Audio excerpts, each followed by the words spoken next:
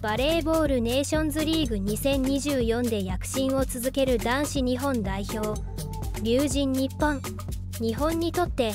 ホームのような声援が送られたブラジルラウンド最終戦は世界ランクで拮抗する強豪イタリアが相手となり1対3で敗れてしまうも課題が明確になった試合になりました。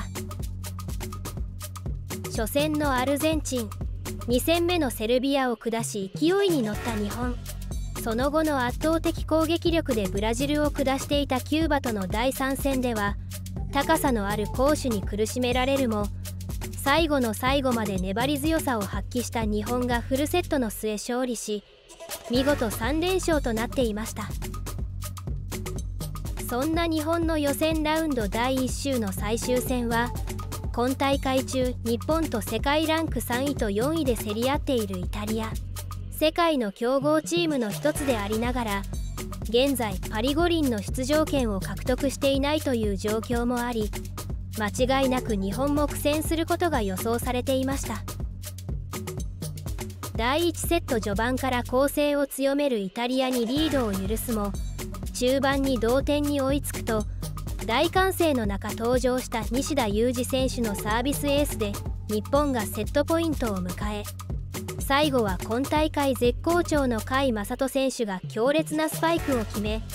強豪相手に25対23と先制します。しかし第2第3セットはイタリアの壁につかまり思うような攻撃ができなかった日本。点差をじりじりと広げられるとフィリップ・ブラン監督はメンバーチェンジを多用しあらゆる手を尽くしますが16対2517対25と2セットをイタリアに連取されてしまっていました。第4セットも追いかける展開となりますがこれまでも最後まで決して諦めてこなかった日本は粘り強くレシーブを上げ成功率の高いクイックなどで応戦しますが最後はほんのわずかなラインアウトで17対25となり1対3でイタリアに敗れてしまっていました。試合後のインタビューでは悔しさを語りながらも続く日本ラウンドでの躍動を英語で語ってくれた宮浦健人選手。この悔しい敗戦に日本のファンの方々からはイタリアの壁は厚かった。ベストメンバーじゃなくてもここまで戦える日本すごい。などの声とともにイタリア戦の負けはほんと悔しいな。でもただの敗戦じゃなくて価値ある試合だった。ブランさんイタリア戦で大選考会やってない。など悔しさの中にも今後の成長につながる課題が明確になったことやパリ五輪を見据えた戦略に期待の声も上がっていました。今大会第1週のブラジルラウンドを3勝1敗で終えた日本。この試合終了時点で全勝のイタリアポーランドそして日本と同じく3勝1敗となっているフランスに次いで4位となっておりまずは前回大会同様上位7チーム入りしファイナルラウンド進出を狙っています。続く日本ラウンドでは頼れるエースの石川祐希選手と高橋藍選手が待ってくれており移動と休息を挟み日本時間6月4日19時20分からの世界ランク14位のイラン戦からまた連勝を続けてくれることでしょう詳細をご覧になりたい方は説明欄の URL からどうぞ。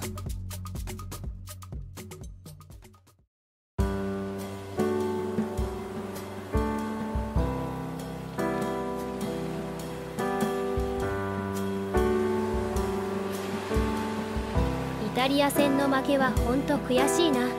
でもただの敗戦じゃなくて価値のある試合だった。得たものが大きい試合だった。誰が出ても面白い展開になっていくって感じでこれからさらに成長していくんだろうな。今日の試合でいろんな経験ができたはずだからこれからに期待したい。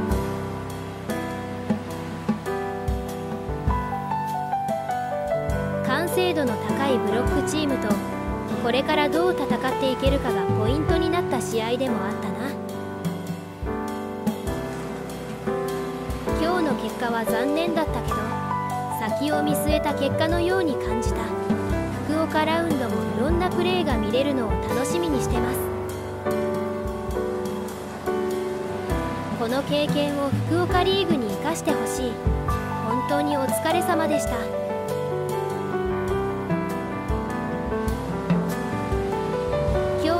リア戦は何が何でも勝つことが目的じゃなかったっぽい。そんなメンバーに感じてしまった。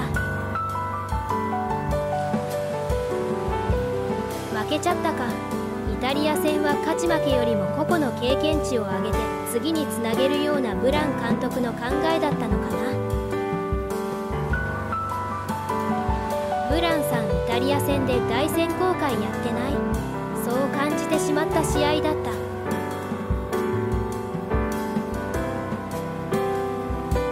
本がオリンピックで勝つには乗り越えないといけない問題をぶつけたからより明確にどうすべきかが分かった試合。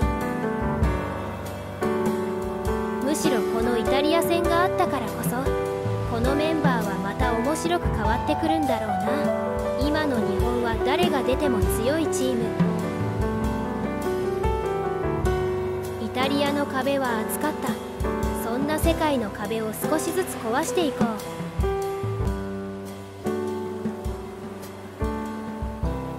ベストメンバーじゃなくてもここまで戦える日本すごい。石川高橋蘭が合流したら最強だよ。石川さんと蘭君がいない中でもフルメンバーの各国と互角。それ以上の戦いが見られて本当に激アツの4日間だった。次の福岡ラウンドまで体を休ませて最高のコンディションで挑んでほしい。